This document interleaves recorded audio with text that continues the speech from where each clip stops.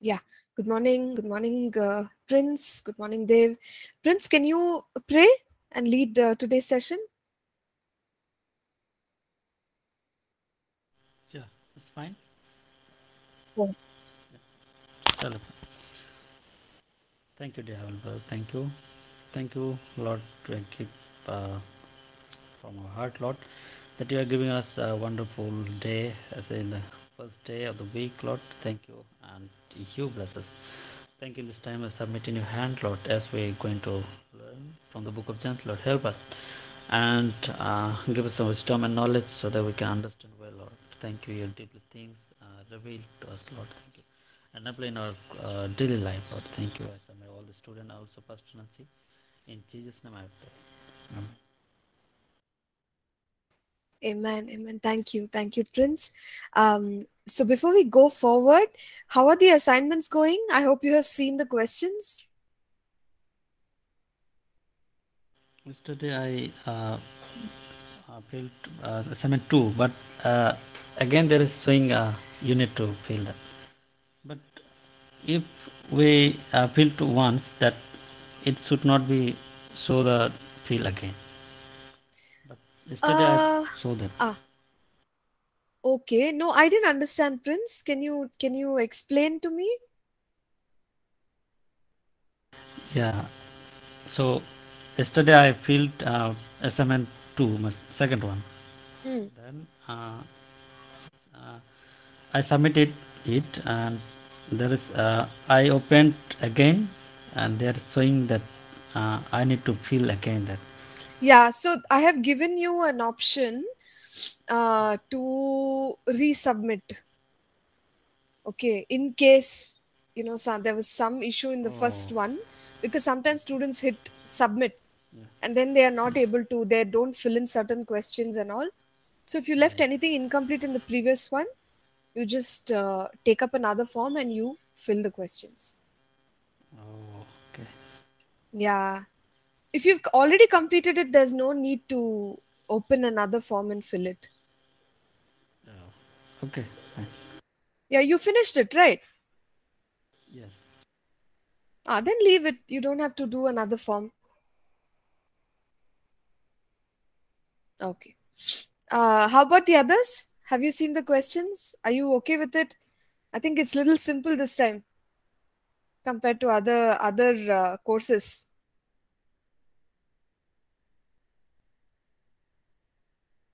The the final one, ma'am, or Yes. the the subjective one? No, all all of them, uh, or the objective ones. I think this semester it's ca- comparatively easier. No, They've. Yeah, uh, my questions. Yeah, I, I've Yeah. done the objective one. The the Okay. longer one, I haven't I haven't done it yet, but I'll Okay. be doing within this or this week. I think we'll, we'll Yeah. finish it. Yeah, you can finish it, and moreover, the questions are not from James. So there's nothing for you to wait for. You can just go ahead and do the, uh, you know, the third uh, test also, because you already Yeah. completed. This week we have one uh due uh, an Mhm. assignment for ministry, so I will finish that one and I'll start. Uh, the- Okay, okay, okay, okay. So all other classes are completed.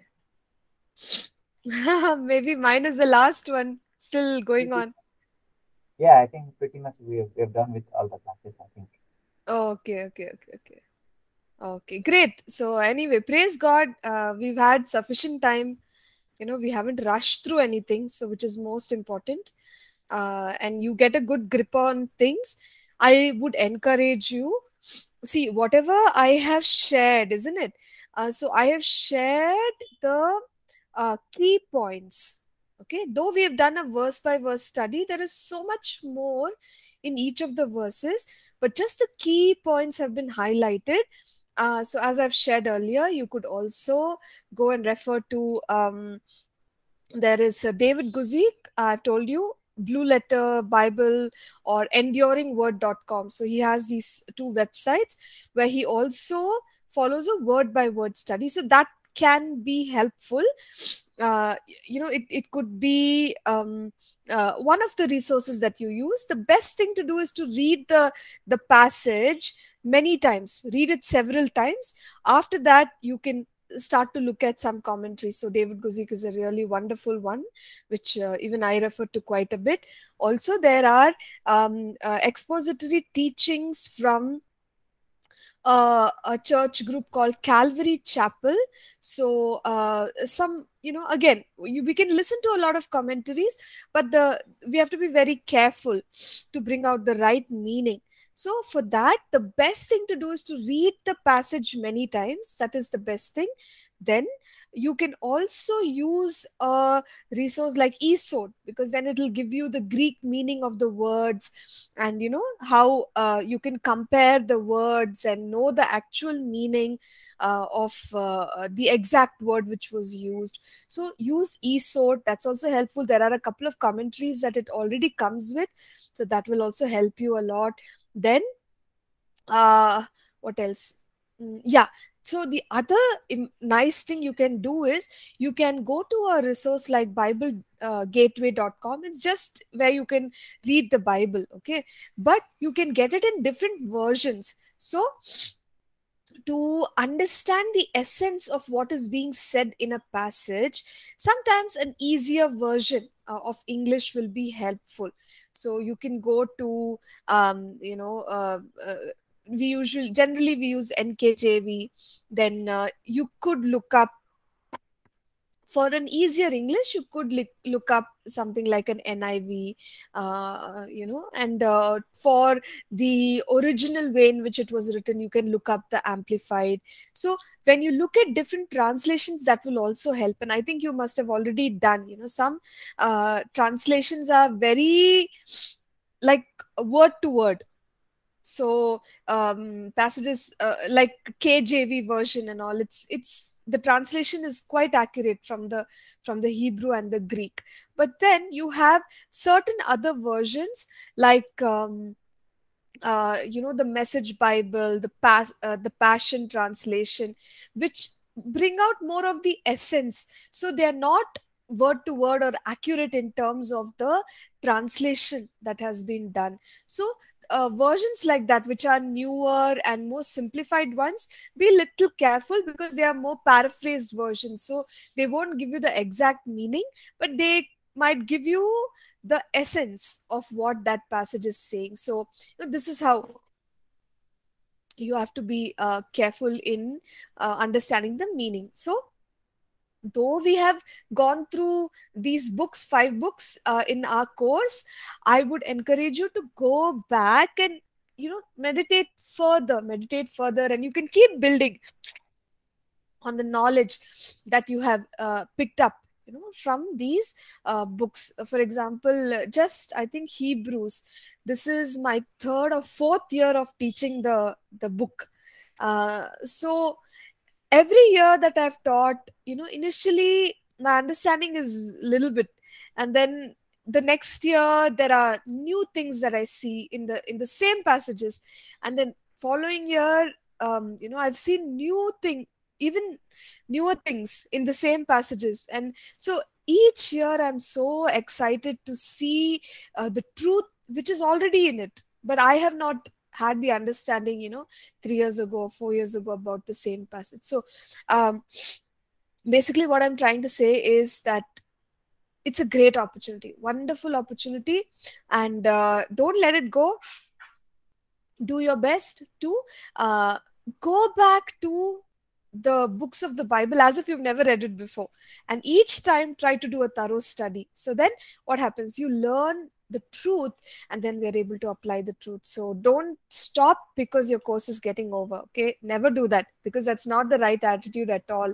The bible is a speaking and a living book which will speak to us every day you know even into uh, eternity because god's heaven and earth will pass away but his word will not pass away. So i just want you to continue to be curious about what the word has in it okay? So now let's just go to our passages here from the book of james. And as I shared, uh, since at APC we have done a study on the book of James, you already have notes for it so it makes your work so easy. You just have to uh, you know go go to the notes and uh, read it up. So please do that. Last uh, class we stopped when in uh, verse 5 i think so.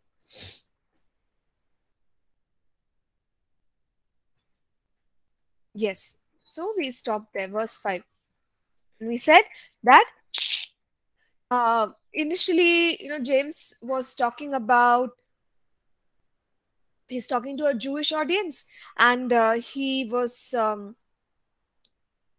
quite knowing of their situation which is that they were going through persecution and there were a uh, lot of um, things in the in the uh, gathering or at that time it was not called the church or ecclesia but the gathering of these believers that needed to be addressed. So with all these things in mind you know james is speaking to the believers.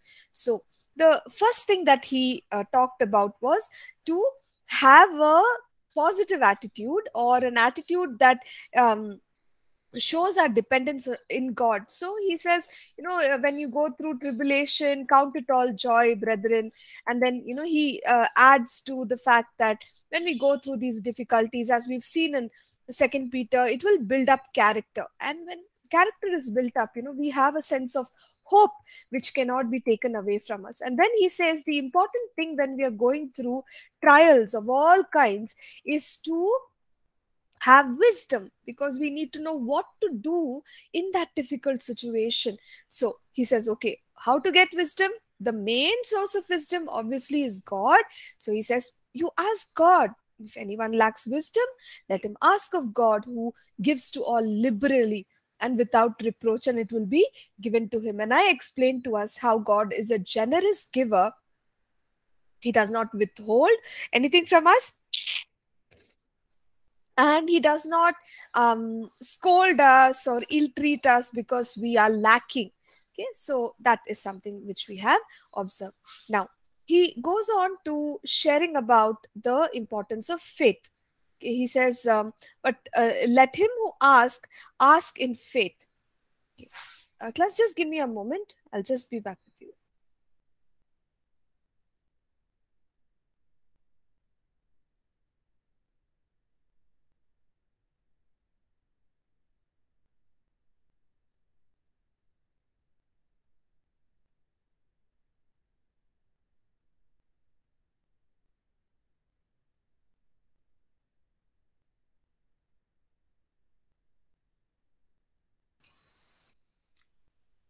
yeah thank you hope you can hear me well Yes, ma'am. I can hear you. Okay. Sure. All right. So he says God is generous and he will give abundantly to all who ask him. So, and then he says the way we must ask is with faith. What makes our prayer effective? Believing in our hearts, isn't it? So, first we believe with our hearts, then we speak with our mouths, and that's how we see the answer to our prayer. So, he says the important thing when we approach God is faith, and we must ask with faith uh, without doubting. And then he goes on to say that when we ask with doubt, then you know one should not expect to receive the answer from god. Because what is lacking? Faith is lacking in that situation. So when we pray the important thing is to have faith. So even when we ask god for wisdom have faith. And then he points out you know something uh, which has to do with uh, the um, attitude or you could even say you know the the um, um, sort of un um, like it, it's still Im- immature character uh, of a person. Because he says that if at all we ask but we don't believe then that person is a double-minded man. Who is a double-minded man a double minded person is somebody who is not making a firm decision. The person is uh, holding on to option A as well as option B. And, you know, it, it's like unable to decide am I going with option A? When I talk, it sounds like I want A. When I talk, talk after some time it sounds like i want option b. So what is it that you want? Is it a or b? Be very clear. So double minded person is that kind of a person who doesn't make a clear decision. So when it comes to our prayer life and our faith in god what james is saying is don't be double minded don't say things like god if you do this for me great. If god doesn't do it i have another idea I'll just figure it out. So then what is it? Are you really fully depending on God or like what what is it so we must not misunderstand this as be uh, that god is asking us to be um, uh, unplanned or unwise that's not what god is saying but he's saying when we are showing our dependence on god you know let it be single minded where we are determined to put our full trust in god so this attitude or uh, this this uh, part of us being double minded you know, that is something we must work on and get rid of. And uh, sometimes double mindedness can also be um, uh, something that is influenced by the the demonic. So if we sense that hey you know not able to get rid of this double minded attitude or behavior we uh, and and that it is a demonic influence you can even bind it. You can even bind it in the name of jesus and uh, be set free from it. Because god wants us to have single minded focus. You know don't be all over the place. Because what does it say? A double minded man is unstable in all his ways. We become unstable because we are not able to make decisions. Okay, so when it comes to asking God, trust that God will bless you, He will hear your prayers. Now, going to verse 9. I know that we have not gone through the full chapter because again it will take time. You all have the uh, text in front of you, so just follow along. So, verse 9 now he's addressing the um, the situation of having different social uh, uh, strata or classes in the same church. Does it happen today? Yes, it happens today, unless a church is specifically for, uh, uh you know, a, so, a particular social class of people. But we know in the kingdom of God that all kinds of people are welcome. So here in the uh, gathering of Jewish believers, James noticed that some people are rich or they have more possessions and um, uh, uh, you know resources as compared to others. So some are rich while some are poor. So he he talks about how to treat people. You will see this in many different passages in James as well. But here he's starting out and he's saying, Let the lowly brother glory in his exaltation. So he's saying, when god blesses materially okay uh, a particular uh, person who is poor let him be happy. Now he also tells the rich person he says the rich in his humiliation or he says that a person who is rich should be okay to be humble before the lord okay? It doesn't mean that you know god is going to uh, bring down the rich person or humiliate a rich person no. But it means the rich person should be happy walking with humility. Humiliation and humility there's a big difference. They're not the same thing. So humility is to carry an attitude of reliance on god. Then he says because of, as a flower of the field he will pass away. So he's just telling the rich people to uh, realize that life here on earth is not permanent. Similarly holding on to riches and having riches is also not permanent. So how can uh, you know somebody be, become proud uh, because they have resources? That would be very uh, immature again so he says, So let the rich brother in his humiliation. Now coming to verse 11. For no sooner has the sun risen with a burning heat that it withers the grass, its flower falls, and its beautiful appearance perishes. So the rich man also will fade away in his pursuit. So he's just referring to the temporary status of our life here on earth and the temporary status of the riches riches that people hold on to. Yeah. Now coming to verse 12 You see, you would find in James, he's addressing the issues and he's uh, quickly jumping to new issues. So, excuse me,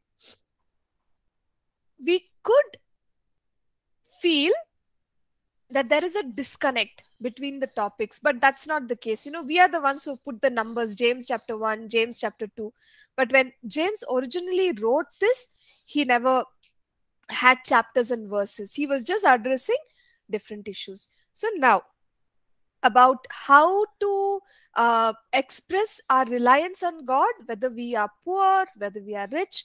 He he talked about it. Now verse 12 he's going to talk about temptation. So he says, Blessed is the man who endures temptation, for when he has been approved, he will receive the crown of life, which the Lord has promised to those who love him. So he is encouraging the people to overcome temptation and uses the word endure. Endure has to do with pressure, it has to do with, uh, you know, a certain timing. Something that doesn't get over immediately requires endurance endurance. So when it comes to temptation as well you know, we might have to struggle a little uh, under the temptation but he's encouraging the believers and he's saying if we overcome then we will receive a crown of life which the Lord has promised for those who love Him. So He's saying, Come on, believer, you must overcome temptation. There is a crown waiting for you. Then He shares some truth about temptation in verse 13. He says, Let no one say when he is tempted, I am tempted by God. For God cannot be tempted by evil, nor does he himself tempt anyone. So, this is very important. He is letting the believer know that God is not the source of temptation. So, whenever we say, I'm going through a tough time and uh, God is testing me, have you heard that? It's typical. In many cultures people believe that it is god who puts them through a challenging time. It is god who gives sickness to them. It is god who um, uh, wants people to endure you know uh, poverty and misery and despair and depression and loss and all those things. But that's not the god of the bible as per what we are reading. Yes there are these challenges in the world simply because we are in the world. And you know the world has these challenges but it's not to say that god puts it on people. Also temptation. God does not put temptation on people and say okay let me see. How is this person going to overcome the temptation? If they overcome well and good if they don't overcome i'm going to punish them so god is not putting temptation on anyone but in the world do we have temptation we do one thing to settle very clear james chapter 1 God is not the source of temptation. Now, verse 14, he explains where does temptation come from? He says, But when one is tempted, when he is drawn away by his own desires and enticed. Remember, we've talked about this earlier that even a born again believer carries what is known as the flesh. Flesh has to do with the evil desires of the soul the, uh, the soul and the body these evil desires when we don't overcome them. How to overcome? The flesh only one way. Crucify. Okay? There's no question of counseling the flesh or you know uh, pacifying the flesh convincing the flesh. No. The bible teaches us we have to walk with self control which is a fruit of the spirit and crucify the desires of the flesh. So when we crucify the flesh that's when these temptations will cease however because we are all battling with flesh here on the earth uh, there will be temptation. And it is coming from he says our own desires so when i am tempted the problem is not god. The problem is in me in my flesh my own desires and enticed. Then he talks about the progression of temptation. We have studied about this when we uh, did Believer's Authority, uh, also in the human soul. I'm sure you have studied about this. So, what is the progression of temptation? He says that when desire has conceived, it gives birth to sin. So, he says thoughts will lead to action so there is a desire in our flesh. I'm just giving you a simple example. Uh, if at all you know there is uh, um, mm, some food in our house which is very rich and it's a little bit is okay but if you eat too much it's not good for your health but it is there. What happens? There is a desire. Generally it starts with a thought when we say oh wow you know i can have a little bit of this. It's so tasty. I will be um, satisfied with this sweet. And uh, so it's the thought process. And maybe you are battling the temptation and you're saying no no no i've already had uh, uh, uh one bowl. I don't think i should have another bowl. So you're just battling with this temptation but the desire is within you.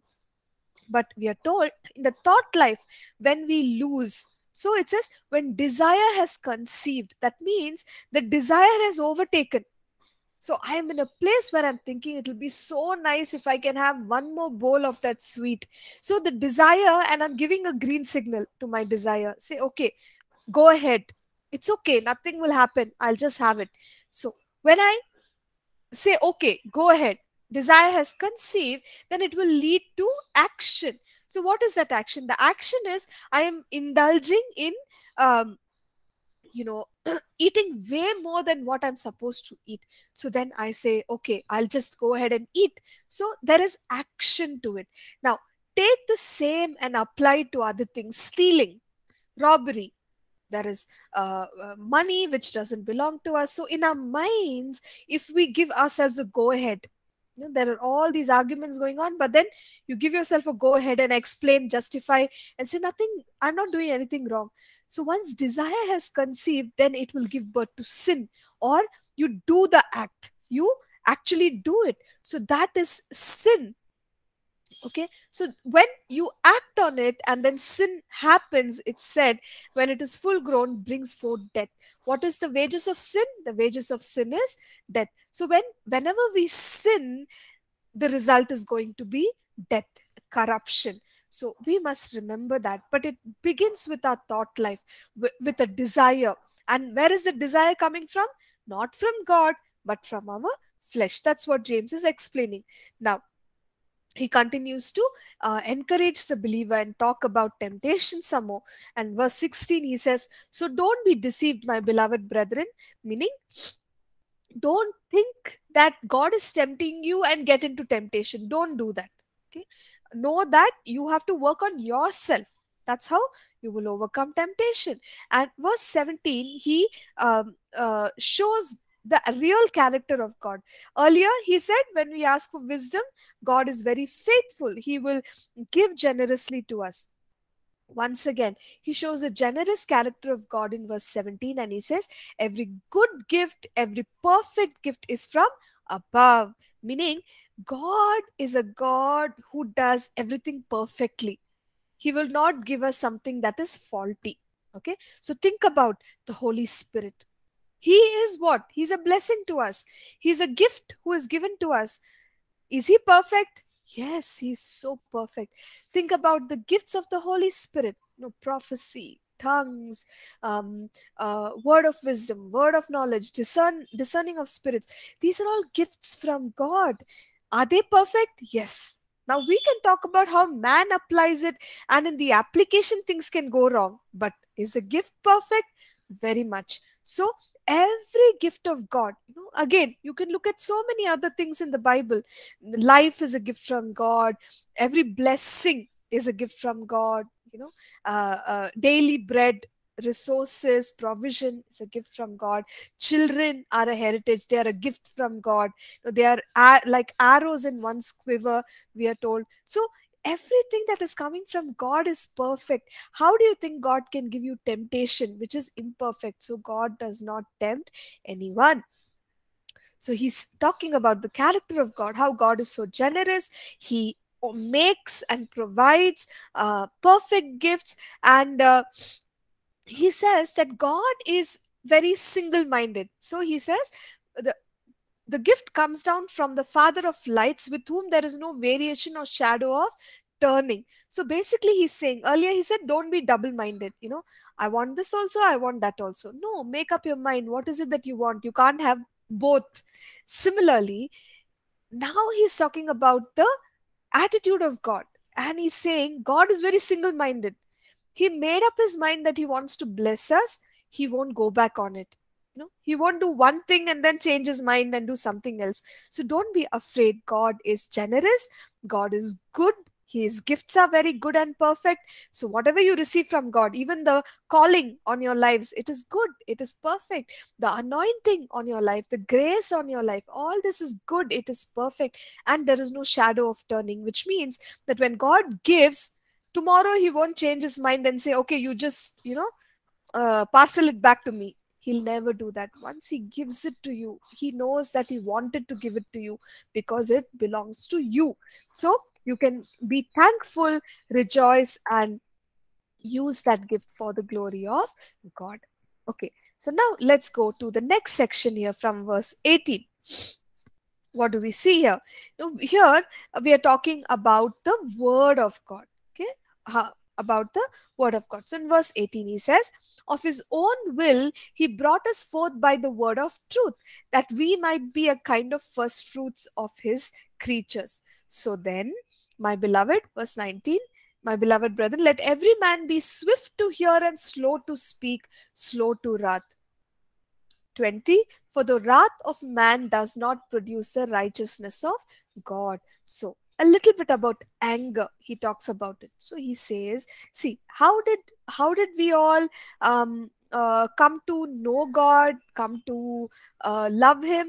Because he loved us isn't it? We all experienced the love of god. So it was the love of god which produced the righteousness of god in us. It was not the wrath of man or you know somebody telling us uh, don't do this do that and giving us all the rules strictly putting us on the track to righteousness. That's not how we have become righteous but we have received god's love his kindness. That's how righteousness has uh, taken root in us so similarly he is saying how is it going to be useful if we are filled with anger? And you know we we do what we do motivated by anger. So that's why he says come on let's not do that. Um and you know he gives a nice tip there. He says be swift to hear slow to speak. So he's saying how can i overcome being angry and saying evil things when i'm angry have control on the words that we speak. So be slow to speak. We may feel like I'm going to say all these things and hurt the person, but no, be slow to speak. Even if you're feeling angry, be quick to hear. Hear more. That will help us overcome our anger. Now, 21 again he encourages them to live a holy life he says. Therefore lay aside all filthiness and overflow of wickedness and receive with meekness the implanted word which is able to save your souls. So he talks about how we put it is walk in the spirit. Now paul said it like that walk in the spirit or be led by the spirit not by the wickedness of the flesh and also receive with meekness the implanted word, meaning humbly listen to God's word. And he says, implanted word. How should the word be? It should come and settle down in our hearts. Remember the parable of the sower. The sower sows the seed, but there are some seeds which don't take deep root. What happens to such seeds? They cannot grow up, they cannot produce fruit. Instead, if the word is planted in our heart, then what will happen? You know, it will do its work. It will cleanse our hearts. It will direct us in the ways of God. And, you know, it will really strengthen us, spirit, soul, and body. So he says in this, in that manner, believer, receive the word of God be planted in you. In verse 22, he says, But be doers of the word and not hearers only, deceiving yourself. For if anyone is a hearer of the word and not a doer, he is like a man observing his natural face in a mirror. Verse 24 for he observes himself, goes away, and immediately forgets what kind of man he was. But he who looks into the perfect law of liberty and continues in it, and is not a forgetful hearer, but a doer of the work, this one will be blessed in what he does. So, again, you know, he's saying, let the word sit in you like a seed in the ground. Then it will develop roots, it will produce um, uh, it will grow, it will produce its fruit.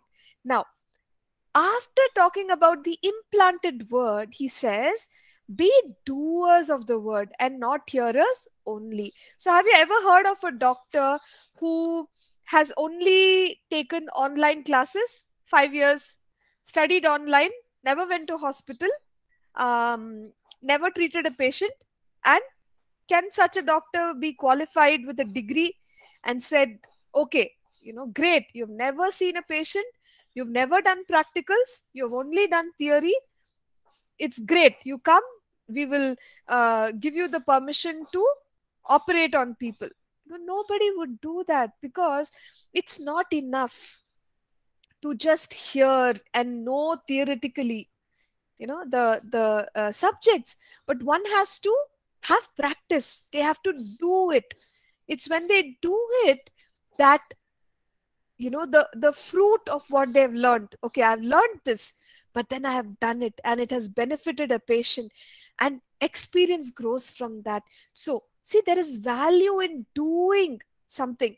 Only theory will not help.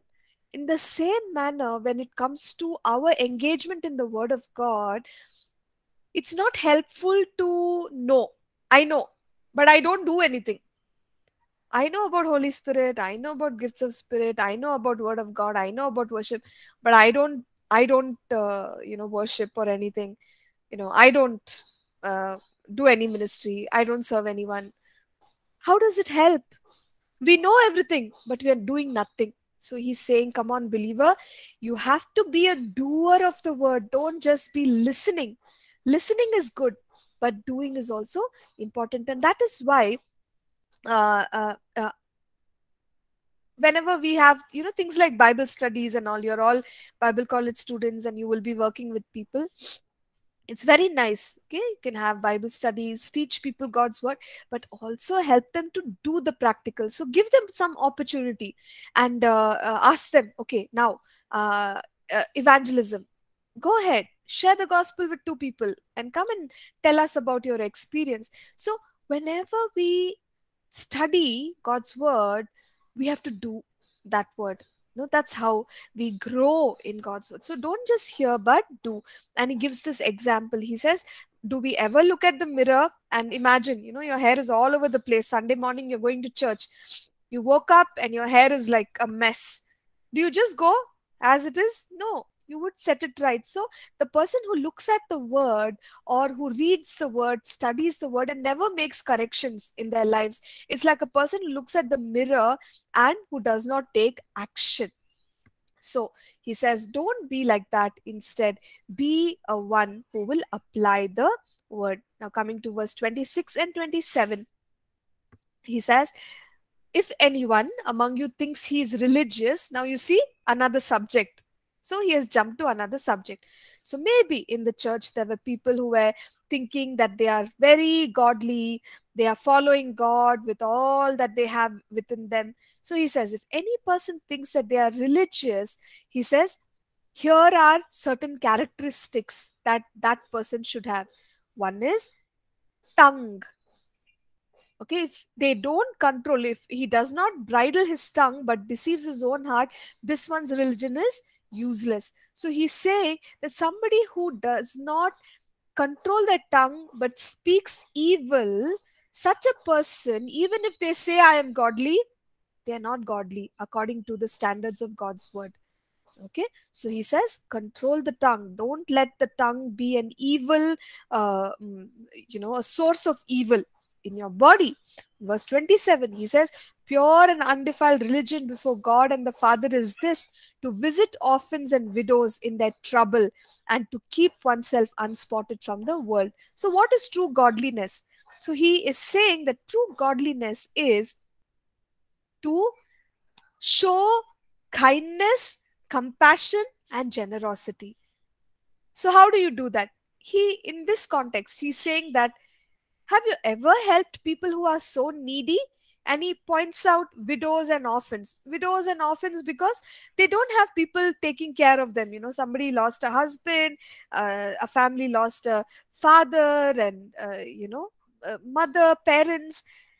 They are in need. These are needy people. So he says, if you say you are godly, you should be one who is compassionate and generous to the needy. So, do you ever help people in need? If you do, and you know, particularly here, he says, so helpless, such helpless people, widows, orphans, then you are a godly person. And he also goes ahead and he says that one who keeps themselves unspotted from the world. Unspotted from the world means living a righteous life, living a holy life. Now, just think about it. You know, somebody who claims to be godly, but it's not, that person's not compassionate. Somebody who claims to be godly speaks evil, you know, gossip, slander, all those things, curses from their mouth.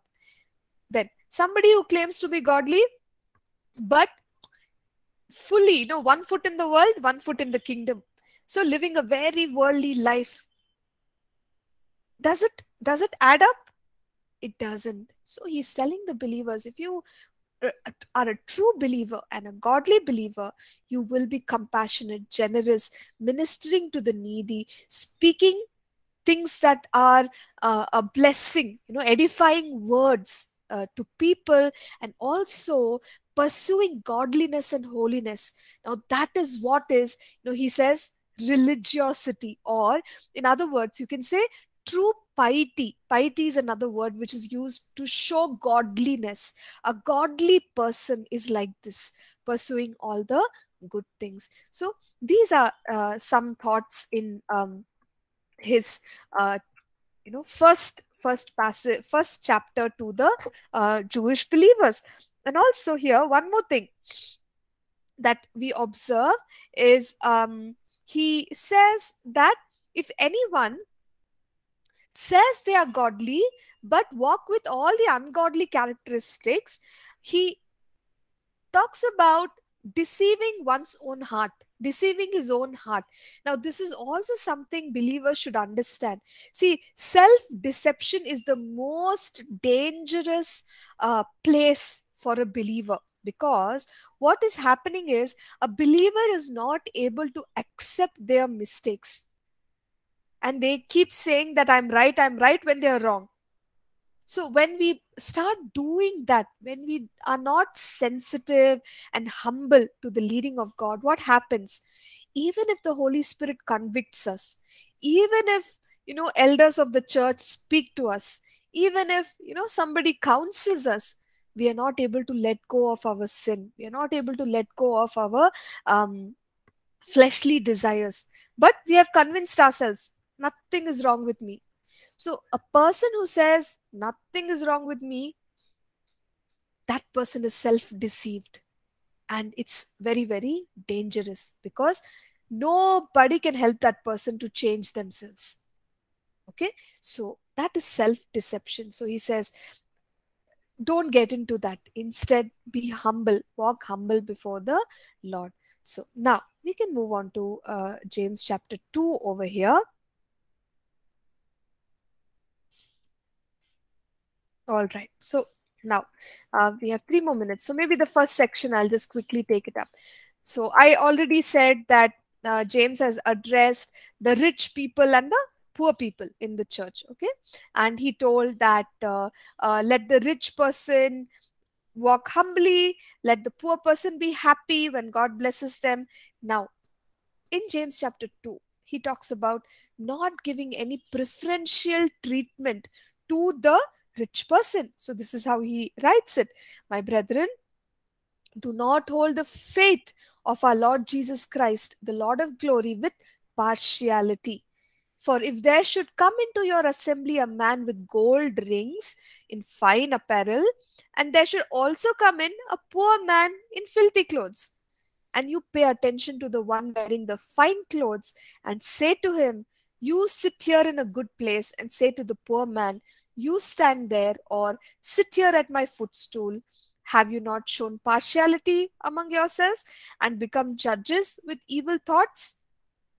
Okay, so I'll just explain verses 1 to 4. Sim- in simple words, he's saying, treat everybody equally. Just because some people are rich, or it could be that some people are influential. You know, in it happens, isn't it, in church? Some people come, we know that they have a lot of money, they have a lot of contacts. If anything needs to get done for the church, they will be able to do it for us. So, what happens to the um, leader or the leaders if they are not careful they will tend to be partial to the rich and the influential because we can get some favors but james very clearly says no partiality everybody is equal. Please do not treat the rich with special treatment. And uh, uh, the poor with you know like not giving them any importance. And uh, here he says that a poor man you give him a, a different place. Okay all the poor sit here all the rich sit here on better seats this is not the way god's house should be. Everybody is equal in the kingdom of god. Just because in the world some people have more resources compared to the others we should not take that to discriminate between people. Wouldn't it be so sad to be part of a group or a community of believers where there is partiality? It's not at all biblical isn't it? So uh, that should not happen you know. Have no preferential treatment for the rich people. Okay so that's what he's saying. Now let's uh, go for a break. 10 minutes we'll come back and we will continue with uh, james chapter 2 verse 5 okay see you soon class. Yeah thank you